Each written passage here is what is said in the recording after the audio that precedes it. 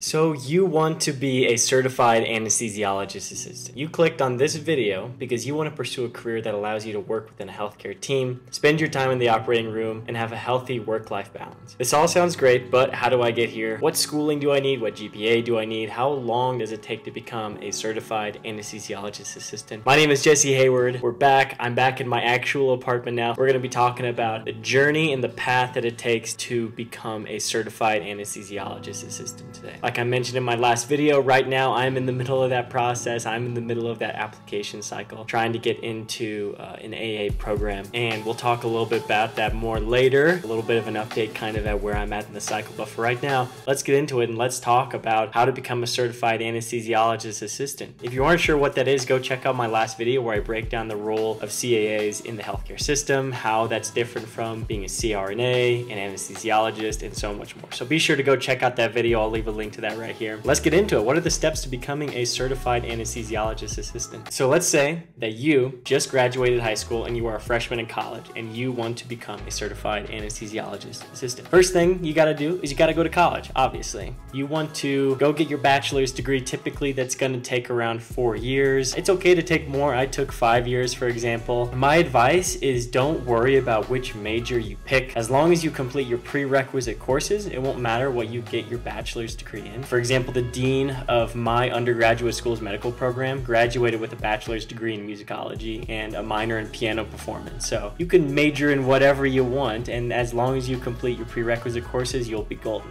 You'll be just fine. However, a lot of pre-health students do choose to major in biology, and that's just because a lot of the classes that you have to take for your biology degree are going to be prerequisites for AA programs.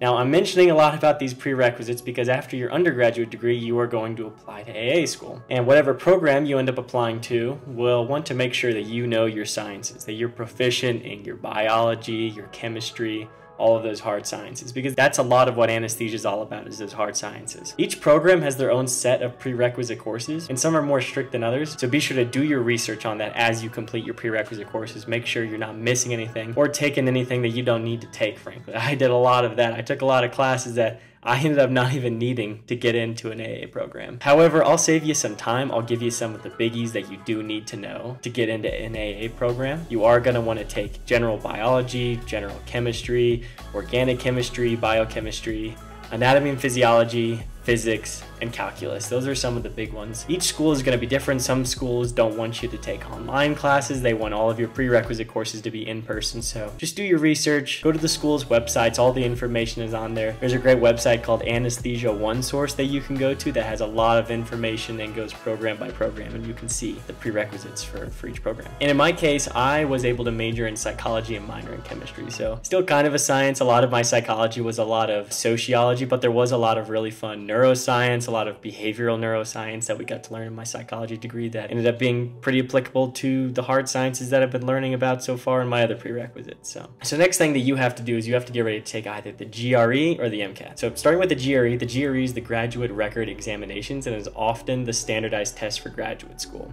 And every AA program is going to be a master's program. They're generally going to be titled a Master's of Science in Anesthesia. So for these programs, a GRE is going to be the most common exam you'll see applicants take trying to get into AA school. Now, the GRE is generally seen as easier, requires less of a time commitment compared to the MCAT. But if you're feeling brave, AA programs will accept the MCAT as the standardized test for entry. The MCAT is the medical college admission test. It is the standardized test used for medical school admissions. So if you're looking to go to medical school, you're gonna have to take the MCAT. The MCAT is generally viewed as harder than the GRE, so some admission committees might like to see a good MCAT rather than a good GRE. However, the MCAT is twice as long as the GRE, often requires many months more of studying, and is focused on hard sciences as opposed to writing and reasoning. In my own case, since I was planning on going to medical school after my undergraduate degree, I took the MCAT, and that, took years off of my life studying for the MCAT. That was a doozy. Studying was a grind. The name of the game is practice, and if you can imagine practicing a seven and a half hour exam over and over and over again, it it is grueling and it is not fun. So really make sure that you are prepared going into the MCAT. And as long as AA programs are allowing you to use the GRE as your standardized test, I always just say go for that because that's going to be less studying. You're going to have more time to contribute to your GPA, your extracurriculars. That would be my recommendation for what standardized test to take. Uh, so, what stats do I need in these standardized tests with your GPA in order to have a chance at getting into an AA program? Typically, stats are going to be really variable in terms of what you can get accepted into with. And the reason for that is because admission committees like to use what's called a holistic approach. A holistic view of your application means that they're going to look at everything. They're not going to have as much of a you need to do X, Y, and Z as much as we want to see your journey. We want to see how you progress throughout school and get an idea of you as an applicant. And this is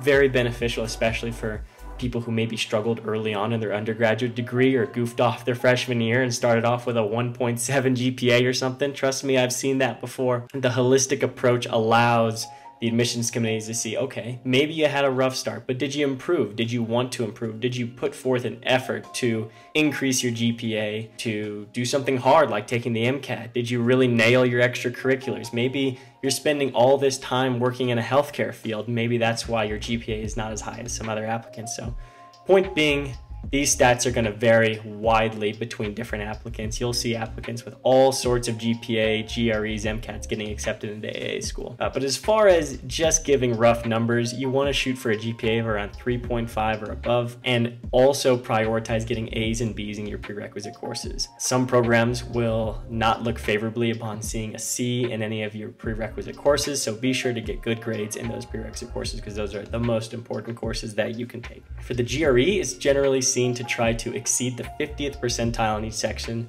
uh, there's three sections, verbal, quantitative, and the writing section. So if you just get above 50th percentile, that's gonna sort of change depending on what the percentiles are looking like at the time. I didn't take the GRE, so I am definitely not super well versed in how the GRE goes about the percentiles, but shoot to be 50th percentile above, and you should be good. For the MCAT, you just wanna try to score above 500. Just try to get above 500 and you'll be okay. These are not end all be all marks, but a good baseline to sort of prepare you for what stats you might need to get into AA school. Since getting into AA school is getting more and more competitive each year, these statistics are bound to increase. They've already increased so much from last year to this year because applicants have just skyrocketed. They're just there's a lot more people that are applying to these programs now than last year, the year before, and it's just going to keep getting bigger and bigger as more people start finding out about this career. So make sure to leave no doubt to admissions committees whether or not you can handle the rigors of AA school. So I've got my academics, what else do I have to do before applying to AA school? During your undergraduate or your gap year, for example, I'm taking a gap year, you will want to prioritize other aspects of your application to gain entry into an AA program. You'll want to gain experience in healthcare and patient care through paid work or volunteering. In my case, I am spending my gap year as a phlebotomist, working in a hospital, prioritize patient care as opposed to general health care, since admissions committees will love to see you being able to interact with patients. That's a big name of the game with anything in healthcare, especially something like anesthesia. You got to know how to treat the patient the right way, how to interact with the patient, uh, in a way where you know you're putting this person under anesthesia. A big part of that I hear a lot about is verbal anesthesia. How are you talking to the patient when, whenever you're about to administer these drugs to this patient? That can be a very vulnerable time for the patient. So be sure that you know how to interact with patients in a way that's going to give them comfort as opposed to unrest. And like I always say, if you can smell the patient, then it's patient care. Try to find something like patient care. Get used to being with patients, dealing with all different types of people you're going to be good for anesthesia. Uh, you'll have to spend at least eight hours shadowing an anesthesia provider. This can be a CAA, this can be a CRNA, or an anesthesiologist. In my case, I got to shadow a physician anesthesiologist, and I also plan to shadow a CAA later this month. You will need three letters of recommendation. These should be from individuals who can speak to your character as an applicant and as a person. These are commonly going to be from professors or supervisors in your healthcare experience. Uh, in my case, my letter writers were a professor, my healthcare supervisor, and my coach actually. And the reason reason why I chose my coach and also those professors and, and, supervisors is because those were the people that I formed the most important relationships with and the closest relationships with during my undergraduate degree. They could speak to my character better than maybe a physician that I shadowed that might be a doctor or someone that, you know, might be seen objectively as a better letter writer, but these people knew me the most and they're going to write the best letters about me. That's always what you want to prioritize. When finding the people to write your letters of recommendation. And throughout all this, don't forget to do extracurriculars that you enjoy. Show that you like to have fun outside of school and work. Uh, in my case, I ran track and field as, as well as making content here on YouTube. And when you apply, you'll have to write short essays about each of your activities and experiences, about all your extracurriculars. And at the end, you'll get to write one big personal statement that will detail why you want to become a certified anesthesiologist assistant. In a future video, I'll kind of go over my personal statement and give you some tips on how to write a really rock solid personal All right, congrats. You're ready to apply to AA school. You've done it. You've completed your undergraduate degree. Send that application in on CASAA and wait for those interviews to roll in. Each school has a different application timeline and they are all rolling admissions, so the sooner that you can submit your application, the better. In my case, I submitted my application in July with the plan of going into one of the programs that starts in the following fall, so around a year in advance from when I would be matriculating to those programs. After you submit your application, schools will then choose to offer you an interview and get to know you as an applicant better. These interviews can either be in person or virtual. Before the interview, prepare to answer questions about why you want to become a certified anesthesiologist assistant, why they should accept you, and many other common interview questions. Make sure to do your research before you walk in. You don't want to go into an interview blind because that's sort of the last barrier that you have before getting into an AA program. If you get that interview, they know that you've got the stats. They know that you can handle the rigor. Now you just need to show what kind of person you are to them. If you don't act like a psychopath and they like you, they will probably send you an acceptance and you'll get ready to start school. Now that you're in AA school, what do you do now? AA school is typically going to be seven semesters long, or about two and a half years. Each program is going to be different, but generally your first year is going to be your didactic year, meaning you'll have lots of lectures, homework, exams. Within a year of starting the program, you'll begin your clinical rotations where you get to take what you learned in the classroom and you get to apply it to the operating room. And during your last several semesters, you'll complete clinical rotations commonly at sites away from your main campus. This means you'll get to gain exposure to many different hospitals, you'll get to learn how to adapt to new environments. Oftentimes, the hospitals that you do these rotations at will be looking at you as a potential employee after you graduate and you get your certification. So be sure to treat those rotations really seriously because they are always watching you and you might be working there one day. So be sure to put on a good impression for those people um, as you're doing your away rotations. All right, you finished AA school. You are now a certified anesthesiologist assistant. You did it. Very good. In total, you will spend about four years in undergrad and about two and a half years in AA school, meaning that you can become a certified anesthesiologist assistant in around six and a half years. And when you compare that to a lot of other routes to get into anesthesia like CRNA and becoming a physician anesthesiologist, this track allows you to get right into the action after you graduate. You get to start working. There's no um, residency, a lot of the rotations that you do to get that clinical experience and get that exposure to the operating room happen while you're in school, which is super unique to being a CAA and one of the big uh, selling points that I had when deciding whether or not I wanted to go into this area of anesthesia. At the end of the day, becoming a CAA is hard. The classes that you take in undergrad, the rigors of AA school, and the novelty of clinical rotations are not easy. And AA programs are only going to get more competitive to gain entry into in the following years. The common expression about AA school that you probably heard for things like medical school, nursing, everything like that is that it feels like you're trying to drink water out of a fire hose. Although it's difficult, I have found that the AA community is super super tight and very supportive. One of the biggest resources that I can advocate for is the Discord server. Hop on there and you will have people reaching out to you saying, how can I help you? People that want to answer questions that are admissions committee members. So people that actually get to decide who gets in and who doesn't. Are, are there willing to answer your questions, which I have never seen anywhere else. It's crazy. People are really willing to help you and want to see you succeed. So you'll always be able to find someone willing to go out of their way to help you.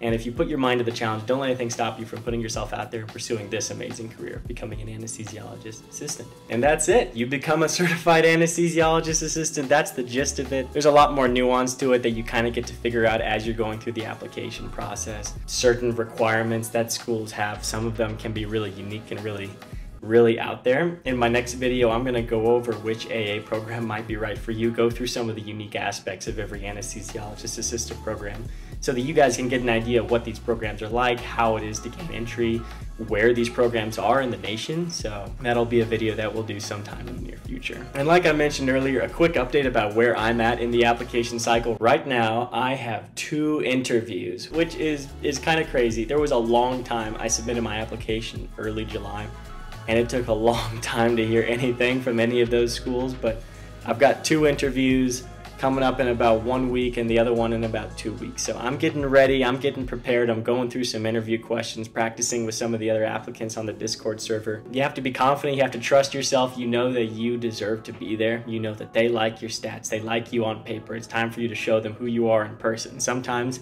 that can be the biggest strength that you have. You get to determine your fate from that point on. So I'm excited for these interviews. They're coming up pretty quick, but I'm to keep getting prepared and uh, I'll definitely keep you guys updated about how those interviews go. And if I get in, very exciting. We should be knowing that in just a couple of weeks if I'm getting in or not. So it's definitely a nerve wracking time, but I'm excited to see how it goes. So that's it for the video. Now you guys know how to become a certified anesthesiologist assistant.